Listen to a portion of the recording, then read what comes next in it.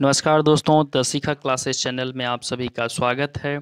आज मैं आप सभी के समक्ष अपने करंट अफेयर श्रृंखला के साथ पुनः हाजिर हूँ, जिसमें हम लोग करंट अफेयर से संबंधित कम लगभग 20 आपके महत्वपूर्ण प्रश्नों को 20 महत्वपूर्ण प्रश्नों का आज हम लोग प्रैक्टिस करेंगे।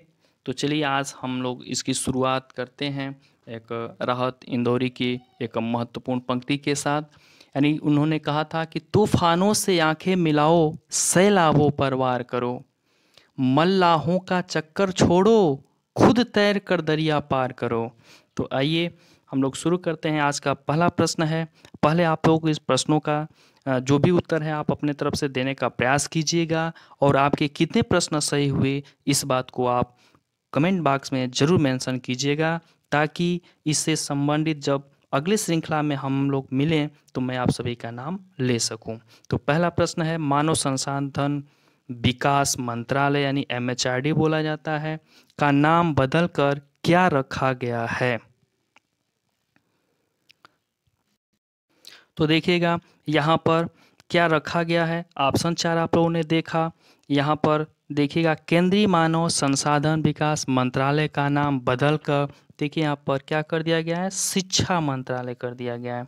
यानी कि शिक्षा मंत्रालय यहाँ पर मैं गोला कर दे रहा हूँ। शिक्षा मंत्रालय कर दिया गया है। प्रधानमंत्री नरेंद्र मोदी की अध्यक्षता में बुधवार को हुई कैबिनेट की बैठक में इसका फैसला लिया गया। साथ ही बैठक में चौंतीस साल बाद हुई नई शिक्षा नीति को मंजूरी दी गई। यानी यह देख रहे हैं ये जो घटना हुई है कब की कब की यह खबर है? तो जुलाई 29 जुलाई 2020 की। आइए अगले प्रश्नों की तरफ़। हाँ अगला हमारा प्रश्न है, आरोग्य सेतु के ब्रांड एम्बेसडर कौन हैं? तो ऑप्शन आप देख रहे हैं तो इसका सही जवाब मैं आप सभी को बताने की कोशिश करूँगा। एक इमेज के माध्यम से। हाँ देखिएगा, यहाँ पर, यानी आरोग्य सेतु जो ऐप है, उसके ब्रांड एम्बेसडर कौन बनाए गए हैं? तो देखिए, आप इमेज में देख रहे होंगे और उम्मीद करता हूँ कि आप इस ही अपने इस हीरो को पहचान रहे होंगे। यानी कौन है? यानी कि अजय देवगन। यानी आरोग्य सेतु जो ऐप है, इसके ब्रांड एम्बेसडर अजय देवगन को बनाया गया है। देख लीजिए यहाँ पर, यानी अजय देवगन को बनाया गया है। हाँ अगला प्रश्न है, भारत छोड़ो आंदोलन की अठहत्तरवीं वर्षगांठ कब मनाई गई? इसके संबंधित आपको ऑप्शन दिया गया है छः अगस्त 2020 को, आठ जुलाई 2020 को।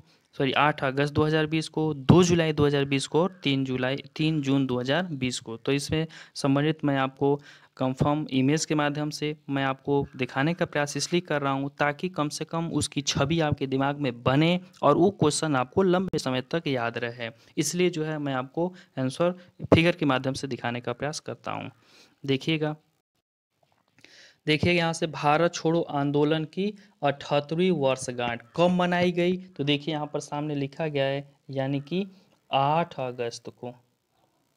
आठ अगस्त को मनाई गई है, यहाँ पर गोला कर दे रहे हैं, आठ अगस्त को। यानी गांधी जी ने क्रिप्स मिशन की विफलता के बाद मुंबई के ग्वालिया टैंक मैदान में दिए गए अपने भारत छोड़ो भाषण में करो या मरो का नारा दिया था और इस दिन देश स्वतंत्रता सेनानियों को श्रद्धांजलि देकर स्वतंत्रता संग्राम के दौरान शहीदों के सर्वोच्च बलिदान को याद करता है। इसीलिए जो आठ अगस्त को मनाया जाता है। तो आइए अगले प्रश्न की तरफ़ बढ़ते हैं हम लोग। हाँ अगला प्रश्न है कि छत्तीसगढ़ के गवर्नर कौन हैं? तो छत्तीसगढ़ के गवर्नर कौन है? ऑप्शन आपको दिया गया है। आप, आप उत्तर देने का प्रयास कीजिए। रामचंद्र मेनन भूपेश बघेल और अनसुईया उइके और मनोज सिन्हा तो आइए इसको भी हम आपको एक इमेज के माध्यम से दिखाते हैं। कंफर्म आपका आंसर हाँ तो देखिएगा, छत्तीसगढ़ की नई राज्यपाल बनी अनसुईया उइके, यानी राष्ट्रपति रामनाथ कोविंद ने की नियुक्ति। तो इससे आपको कंफर्म हो गया कि छत्तीसगढ़ की राज्यपाल नई कौन नियुक्त हुई हैं? अनसुईया उइके। यानी कि अगर यहाँ पर जो यहाँ के सीएम की बात की जाए तो छत्तीसगढ़ के सीएम भूपेश बघेल हैं और वहाँ के जो राज्यपाल बनी हैं वो अनसुईया उइके हैं। हाँ आगे देखिए अगले प्रश्न की तरफ़ बढ़ते हैं हम लोग। किस राज्य ने गोधन न्याय योजना का शुभारंभ किया? ऑप्शन दिया गया है मध्य प्रदेश, उत्तर प्रदेश, गुजरात, छत्तीसगढ़। तो आप अपना आंसर दीजिएगा ताकि आपका सही हुआ या गलत, कमेंट बॉक्स में अवश्य बताइएगा। मैं आपको इसका प्रूफ यानी कि एक इमेज के माध्यम से आपको कंफर्म करूँगा। देखिए, आप इसका सही जवाब क्या होगा? हाँ देखिएगा, यहाँ पर आप देख रहे हैं कि छत्तीसगढ़ प्रदेश गोधन न्याय योजना। तो गोधन न्याय योजना शुरू करने वाला राज्य यहाँ से आपको कंफर्म हो गया कौन सा है? छत्तीसगढ़ है। पशुपालकों को मिलेगा लाभ, यानी इस योजना से ये सारी आपको लाभ बताई गई हैं, यानी सरकार खरीदेगी गोबर और इसमें ये कहा गया है कि दो रुपये के जी का सरकार जो है गोबर खरीदेगी। सरकारी दर पर खरीदेगी सरकार गोबर को और योजना कब से लागू और पात्र क्या है, ये सारी बातें जो है इसमें मेंशन की गई हैं। यानी कि मुख्य रूप से यहाँ पर ये समझिए कि जो गोधन न्याय योजना शुरुआत की गई है, यह छत्तीसगढ़ प्रदेश के द्वारा यानी राज्य के द्वारा शुरू की गई है। हाँ तो देखिएगा इस प्रश्न का जो सही जवाब है वो ऑप्शन नंबर डी, छत्तीसगढ़ है। आइए अगले प्रश्न है कि किस देश के पास राफेल विमान नहीं है? तो ये आपको बताया गया कि राफेल विमान नहीं है। तो राफेल के बारे में डिटेल हम लोग देखेंगे। कि राफेल विमान का मैं आपको इमेज के माध्यम से राफेल विमान को भी दिखाऊँगा। फिर राफेल विमान आया है। तो उससे संबंधित यहाँ पर कई प्रश्न आपको बनेंगे। काफ़ी चर्चा में यह विषय रहा है तो काफ़ी महत्वपूर्ण प्रश्न इसलिए मैंने यहाँ पर सम्मिलित किया है इसे। देखेंगे आप सभी कि राफेल विमान किस देश से आया है तो फ्रांस से आया है। तो ऑलरेडी जो ऑप्शन ए है, यानी फ्रांस ऑप्शन में दिया गया, यानी फ्रांस के पास तो है ही है, क्योंकि वही है, उसका निर्माता ही है तो होगा ही होगा।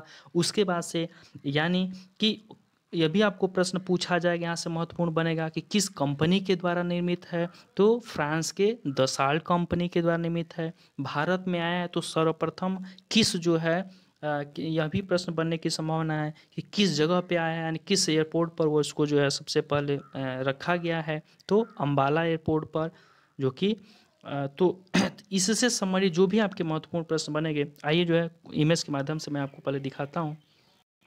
हाँ तो देखिएगा, यहाँ पर ये राफेल विमान को देख रहे हैं आप, राफेल बनाने वाली फ्रांस की, देखिए यहाँ पर पूछा जाएगा कि किस कंपनी के द्वारा यह निर्मित की गई है। तो एग्ज़ाम में कोई ज़रूरी नहीं है किस देश में या इसका निर्माण हुआ है, यानी भारत ने किस देश से ख़रीदा है। तो देखिए, छत्तीस विमानों की डील हुई थी, जिसमें से पाँच विमान आ गए हैं। तो कहाँ से लिया गया है? तो कहाँ से ख़रीदा गया है? तो फ्रांस से। फ्रांस की किस कंपनी ने बनाया है? तो कंपनी का अगर नाम पूछे तो द साल्ट एविएशन, ये इसका पूरा नाम है। ने भारत के अलावा कई दूसरे देशों को भी इसकी बिक्री की है। तो इसीलिए यहाँ पर देखिए कितना महत्वपूर्ण प्रश्न को समझने का प्रयास करिए। कैसे बनाया गया है कि किसके पास नहीं है, यानी भारत को तो फ्रांस ने बेचा ही बेचा है, इसके अलावा अन्य देशों को भी बेचा है। तो वो सारे ऑप्शन में आपको सम्मिलित किए गए हैं। जैसे कि आप देखेंगे कि फ्रांस है, इजिप्ट है, कतर है, जो ऑप्शन दिए गए हैं, चीन है। तो आप देखिए किन किन देशों को इसने बेचा है। अगले इमेज में आप देखिएगा इसको। देखिए, अगला इमेज है आपका इजिप्ट कतर, भारत। यानी फ्रांस ने किसको किसको? इजिप्ट को, जो कि आपको दूसरा ऑप्शन में है, कतर, जो कि ऑप्शन सी है। और फ्रांस में ऑलरेडी फ्रांस ने जब बनाया है तो उस देश में तो है ही है। तो यानी ये तीनों आपके हैं कौन सा नहीं है तो यानी चीन के पास नहीं है।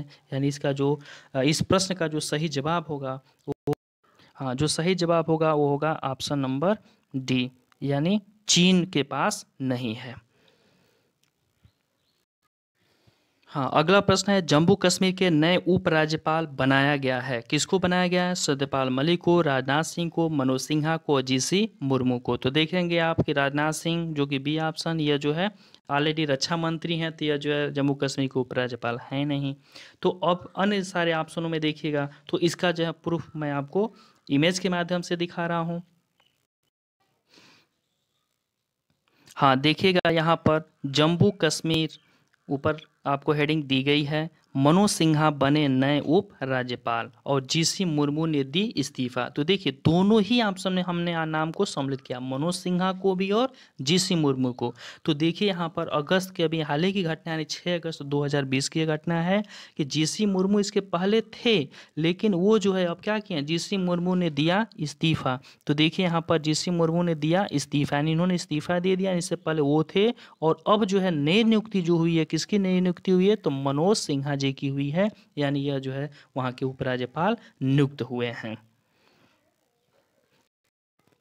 अब देखिए, अगला प्रश्न हम लोग ठीक उसी से जुड़ा हुआ यहाँ पर मैंने बनाया। देखिए, नियंत्रक को महालेखा परीक्षक के रूप में नया नियुक्ति किस व्यक्ति को, यानी चौदहवें नंबर के क्या है नियंत्रक महालेखा परीक्षक, यानी कैक बनाए गए किस व्यक्ति को बनाया गया है? तो ऑप्शन में आपको दिया गया है, बडारू, बंडारू दत्तारे रमेश पोखरियाल, जीसी मुर्मू और वीजी सोमानी। तो देखिए यहाँ पर जो जीसी मुर्मू जी हैं, इन्हीं को जो है चूँकि वो वहाँ के राज्यपाल थे और वहाँ से उन्होंने, वहाँ पर उनको इस्तीफ़ा दिलाया गया और उनको जो है यहाँ पर ला करके नियंत्रक महालेखा परीक्षक बनाया गया है। यानी इस प्रश्न का जो सही ऑप्शन है, वो ऑप्शन नंबर सी होगा। यानी ऑप्शन नंबर सी है और यहाँ पर आप एक इमेज में इसको कंफर्म भी कर लीजिए। हाँ तो देखिए, जो ही वहाँ पर जो है उनकी नियुक्ति हुई और वहाँ मनोज सिन्हा जी की और इनको जो इस्तीफ़ा वहाँ से दिलाया गया और ला करके यहाँ पर देख रहे हैं आप 8 अगस्त 2020 को गिरीश चंद्र मुर्मू को जो है क्या, भारत के नियंत्रक महालेखा परीक्षक के जगह पर नियुक्त किया गया। ठीक है तो ये आपका सही जवाब, इसका ऑप्शन नंबर सी है। तो आइए हम लोग अगले प्रश्न की तरफ़ बढ़ते हैं। नेल्सन मंडेला अंतर्राष्ट्रीय दिवस कब मनाया जाता है? तो नेल्सन मंडेला जो अंतर्राष्ट्रीय दिवस है, वो 18 जुलाई को मनाया जाता है, यानी इसका जो सही जवाब होगा, वो होगा ऑप्शन नंबर ए 18 जुलाई को। इसके बाद अगला प्रश्न है कि प्रधानमंत्री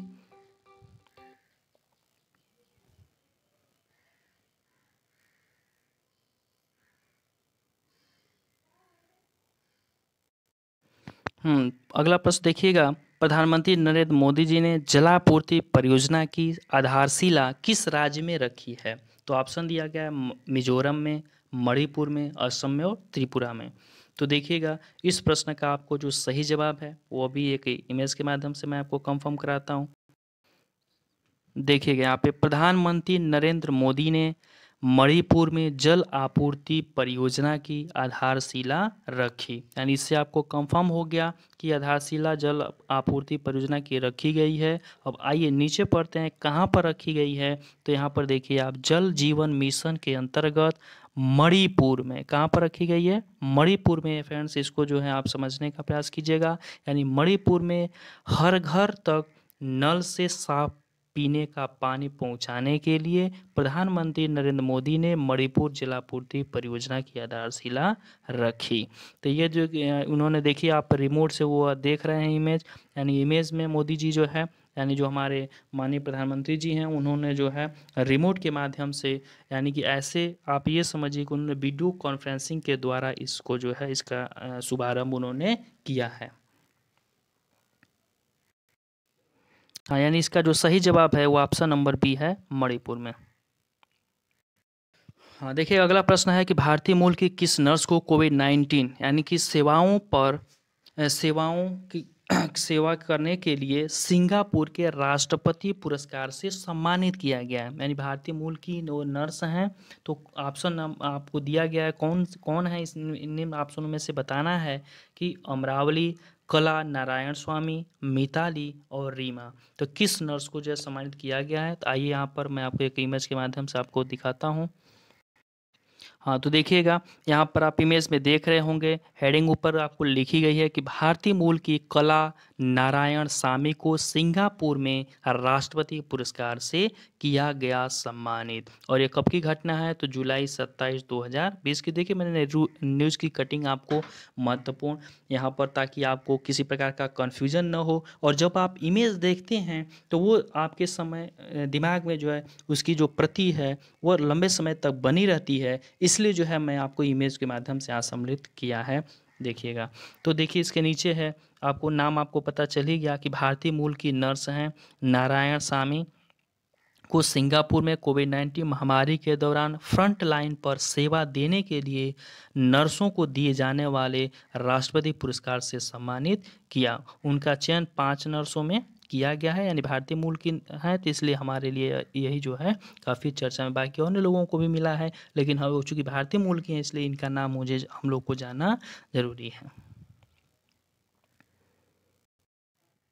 हाँ तो यानी इसका मतलब ऑप्शन नंबर बी इसका सही जवाब है कला नारायण स्वामी। इसके बाद अगला प्रश्न है कि कोविड नाइन्टीन की वजह से विदेश में फंसे भारतीयों को स्वदेश वापस लाने के लिए किस मिशन की शुरुआत की गई है? तो यह जो है Vande Bharat mission, Udan mission, corona mission और एयर इंडिया मिशन। यानी कि जो वंदे भारत मिशन है, इसके तहत जो अमेरिका में कई व्यक्ति मतलब लोग जो है फंसे हुए थे तो वहाँ जो है वायुसेना का ये ऑपरेशन है, जिसके माध्यम से विदेश में फंसे हुए भारतीयों को अपने देश में वापस लाने के लिए योजना चलाई गई है तो Vande Bharat mission option number ये आपका सही जवाब होगा। हाँ अगले प्रश्न की तरफ़ बढ़ते हैं हम लोग। ग्लोबल विनिर्माण रिस्क सूचकांक 2020 में भारत किस स्थान पर रहा? तो ऑप्शन दिया गया है ए, यानी एक नंबर पे, बी ऑप्शन दो नंबर पे, सी ऑप्शन तीन नंबर पे और ऑप्शन चार नंबर पे। तो आपके, आप लोग अपना आंसर देने का प्रयास कीजिएगा। और मैं इसको आपको एक इमेज के माध्यम से इसको कंफर्म कराता हूँ। हाँ तो देखिएगा यहाँ पर हेडिंग आप देख रहे होंगे, वैश्विक विनिर्माण जोखिम सूचकांक 2020 तो इसमें जो है देखिए पूरा इसको, थोड़ा सा इसके बारे में अगर ये आपको पढ़ना होगा स्क्रीन शॉट ले सकते हैं, इसका डिटेल आप पढ़ सकते हैं। देखिए, तेज़ी से मैं आपको इसकी व्याख्या बताने का प्रयास करता हूँ। यानी property consultants Cushman and Wakefield द्वारा जारी वैश्विक विनिर्माण जोखिम सूचकांक, यानी किसके द्वारा जारी किया जाता है? ये आपको ऊपर दिया गया है। यानी वैश्विक विनिर्माण जोखिम सूचकांक 2020 के अनुसार भारत वैश्विक विनिर्माण के लिए सबसे उपयुक्त स्थानों की सूची में तीसरे स्थान पर है ये चीज़ आपको जानना है, महत्वपूर्ण है। यानी किस स्थान पर है? तीसरे स्थान पर रहा। यानी कि आपका जो है, जवाब यहीं आपके प्रश्न का जवाब मिल गया। आगे देखिएगा, महत्वपूर्ण तथ्य, यानी चीन और अमेरिका शीर्ष दो स्थान पर बरकरार। यानी पहले स्थान पर कौन? चीन, दूसरे स्थान पर अमेरिका और तीसरे स्थान पर भारत। यानी कि तीसरा स्थान पर भारत है। आगे नीचे और जो आपको डिटेल पढ़ना होगा, आप पढ़ लीजिएगा। यानी हमारे प्रश्न का जवाब यहाँ मिल गया। यानी भारत जो है, तीसरे स्थान पर यानी ऑप्शन नंबर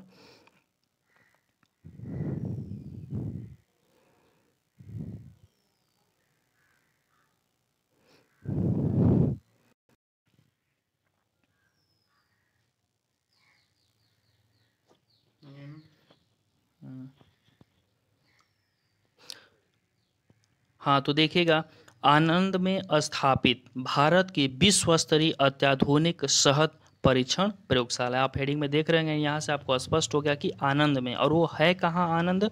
तो देखिए, यहाँ पर आपको डिटेल थोड़ा सा पढ़ लीजिएगा। यानी केंद्रीय कृषि एवं किसान कल्याण मंत्रालय नरेंद्र सिंह हाँ यानी कि केंद्रीय कृषि एवं कल्याण मंत्रालय के मंत्री हैं नरेंद्र सिंह। तोमर। उन्होंने जो है राष्ट्रीय मधुमक्खी बोर्ड यानी एन बी बी जिसको मतलब इंग्लिश में इसको कहा जाए तो नेशनल और बी बोर्ड कहा जाएगा, के सहयोग से राष्ट्रीय डेयरी विकास बोर्ड यानी एन डी डी बी द्वारा आनंद, और ये कहाँ है आनंद? गुजरात में। यानी कि गुजरात के आनंद में यहाँ पर देख लीजिएगा गुजरात के आनंद में स्थापित भारत की विश्व स्तरीय आधुनिक शहद परीक्षण प्रयोगशाला का 24 जुलाई 2020 को वीडियो कॉन्फ्रेंसिंग के माध्यम से शुभारंभ किया। यानी यह आप समझ लीजिए कि कहाँ पर स्थापित किया गया तो गुजरात राज्य में और गुजरात के आनंद नामक स्थान पर। तो आइए हम लोग बढ़ते हैं अगले प्रश्न की तरफ़। हाँ देखिएगा, गरुड़ शक्ति युद्ध अभ्यास किस दो देशों के बीच हुआ है? तो यहाँ पर ऑप्शन दिया गया है भारत, फ्रांस के बीच, भारत और जापान के बीच, जापान, अमेरिका के बीच, ईरान और चीन के बीच। तो यहाँ पर आप अपना जवाब देने का प्रयास कीजिएगा। मैं आपको थोड़ा सा कंफर्म आपको एक इमेज के माध्यम से यहाँ पर आपके लिए कंफर्म करता हूँ। देखिए, यहाँ पर देख रहे हैं सैन्य अभ्यास और यहाँ पर देश। तो सबसे नीचे, बाकी का आप स्क्रीन शॉट ले लीजिएगा, आपको जो याद करना होगा, बाकी सब भी महत्वपूर्ण है इसमें से कई सारे। जैसे मित्र शक्ति हो गया, भारत और श्रीलंका के बीच पड़ोसी है, इसलिए अभी आने की संभावना है तो इसको आप पढ़ लीजिएगा।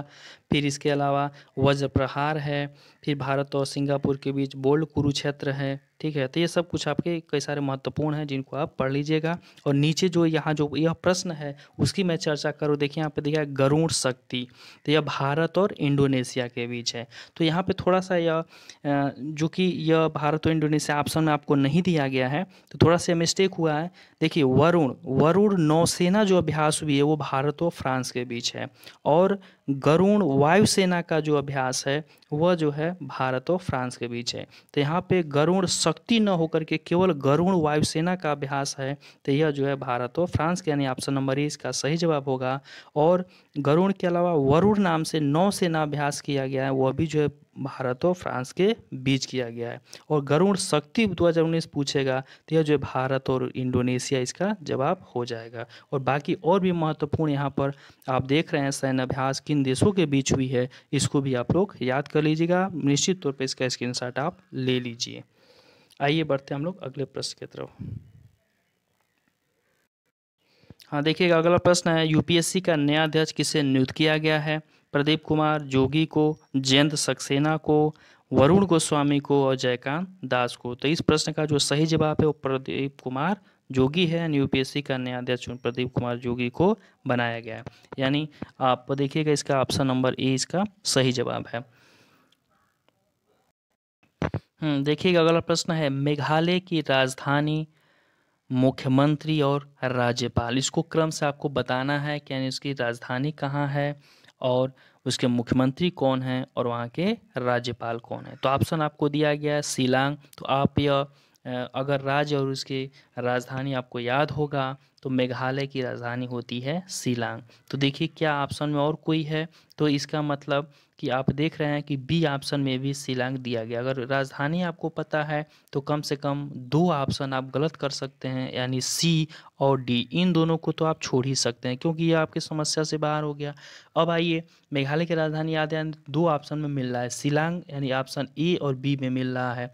अब देखिए, मुख्यमंत्री पूछा गया है तो यहाँ अगर याद है, तब तो आप सही हैं, यानी कि कोनराड संगमा और विप्लव देव। इन दोनों ऑप्शनों में दिया गया है। क्या इन दोनों में से चूँकि विप्लव देव इस समय क्या है? नहीं है, यानी वर्तमान में कोंडार संगमा वहाँ के मुख्यमंत्री हैं और राज्यपाल हैं सत्यपाल मलिक, यानी ऑप्शन नंबर ए इसका सही जवाब होगा, यानी ऑप्शन नंबर ए।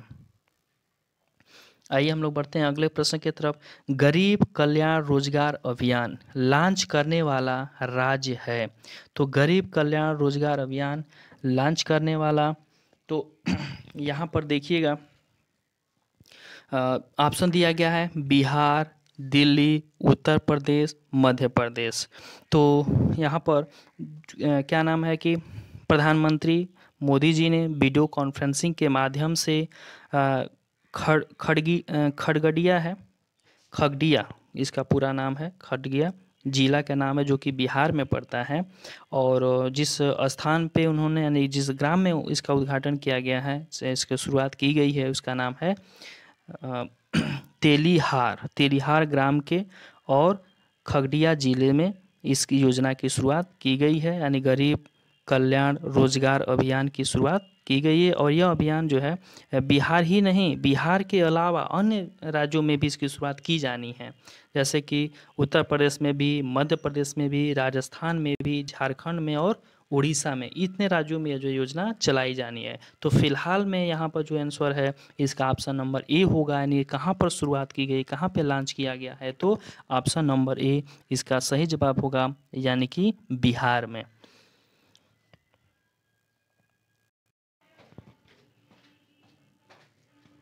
हाँ देखिएगा। अगला प्रश्न है, किस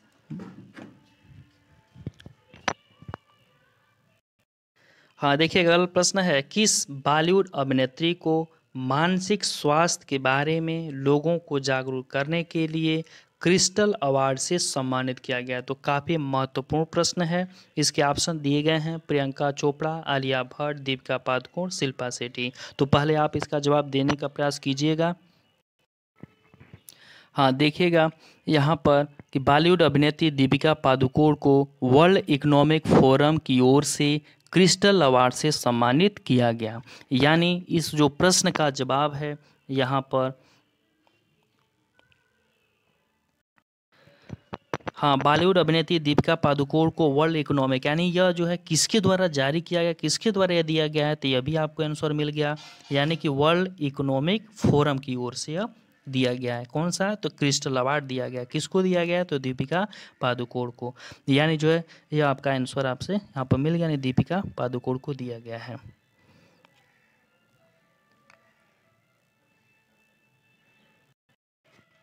यानी कि इसका जो सही जवाब है ऑप्शन नंबर सी, इसका सही जवाब होगा किसको? दीपिका पादुकोण को। आइए अगले प्रश्न को बढ़ते हैं। राहत इंदौरी का निधन हुआ है। यह एक प्रमुख थे। तो किससे संबंधित है? क्योंकि यहाँ से प्रश्न आपको पूछे जाते हैं कि किससे रिलेटेड हैं? सिनेमा जगत से रहे हैं कि जो है उर्दू उर्दू शायर हैं, कि तबला वादक हैं, सितार वादक हैं, राजनीतिज्ञ हैं, क्या थे? तो यहाँ से आपको, आप अगर राहत इंदौरी के काफ़ी जो ऐसे, जैसे कि मैंने इसीलिए शुरुआत में ही मैंने इन्हीं के शायर से ही शुरुआत की है।